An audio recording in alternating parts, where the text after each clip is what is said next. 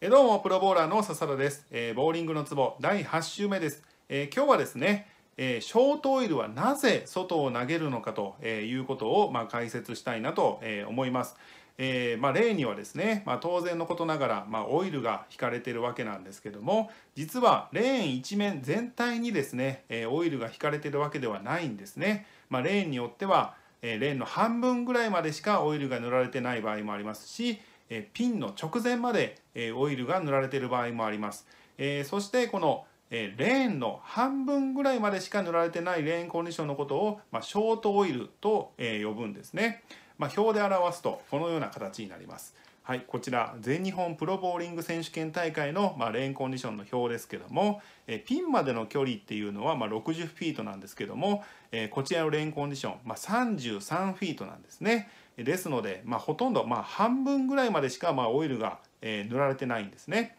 えこの場合、はい、ショートオイルの場合は、えーこの外、まあ、大外を、え投げていくことに、ま、なります。まあ、それは、まあ、なんでなのかとえいうことなんですね。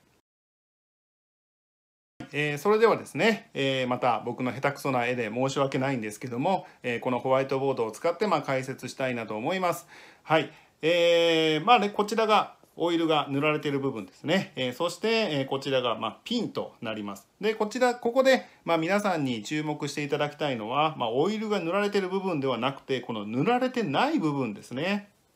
はい。まあ、レーンの半分ぐらいまでしか、まあ、オイルが、え塗られてないということですので、えーその、ま、半分はですね実はオイルが塗られてない部分になるんですね。はい、で、えボールはですねオイルの上では、ま、摩擦が起こりませんので、ま、滑っていきます。えそして、えオイルがない部分に差し掛かると一気にボールが曲がろうとするんですね。はい、でオイルが塗られてない部分が非常に広いということは当然ボールが曲がる量は、まあ、かなり、えー大きくなります。はい、でですので、まあ、この真ん中あたりでボールを曲げてしまうとですね、えー当然1番ピンよりも、まあ、左に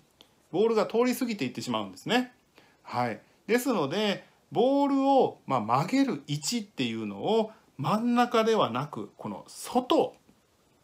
外にしてあげる必要があるんですね。はい、ですので、えーショートオイルっていうのは、まあ、外を投げなきゃいかんということなんですね。で、えーまあ、ちょっと言葉には語弊はあります。えーまあ、このフッキングポイントを外っていうのがまあ正しいんですね。はい、えー外外をまっすぐこういうふうに、えー言ってもらってもいいですし、まあ、中からこの外に向かって、まあ、投げてもらうと、まあ、こちらもまあ OK です。はい、とにかくこのフッキングポイントをま外にしてあげるということが大事です。はい、で、えーまあ、その逆で、まあ、ロングオイルの場合はじゃあどうなるのかというと、えーまあ、ここまでオイルがま引かれてますので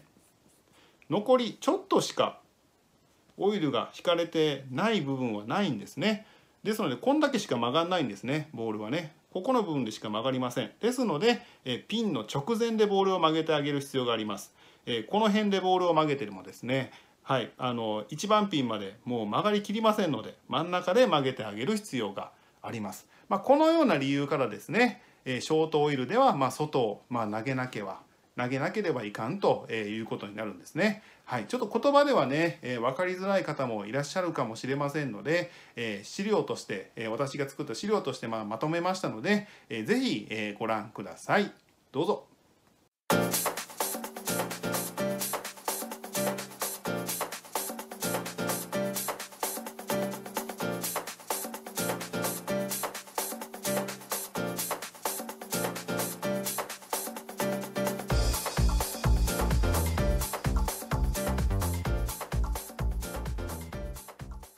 はい、えー皆さん分かりましたでしょうか、まあ、ショートオイルでね、えー外を投げなければいけないという理由はですね、まあ、ズバリ、まあ、曲がる距離が長いということなんですね。えー曲がる距離がま長いということは曲がる量がまあ多いということなんですね。えーですので、まあ、真ん中でボールを曲げてしまうと、まあ、1番ピンの左に行ってしまって、まあ、場合によっては7番ピン1本しか倒れないというケースも出てきます。はいま、それを防ぐためにね、えーまあ、曲がる量が多いですので、えーフッキングポイントをできるだけ外、はい。えーもうできる方はね1枚目2枚目3枚目でも結構です、えそれぐらい、え外に、えボールを、ま出していただくかもう3枚4枚5枚その辺りをまっすぐ投げていただくか、えそのようにしていただいてフッキングポイントを、まできるだけ外に持っていただくことが、まショートオイルの、ま攻略法ということになります。えこれは私のエピソードですけども、え学生の頃ね、え日本代表の選考会を受けたことがあったんですけどもその時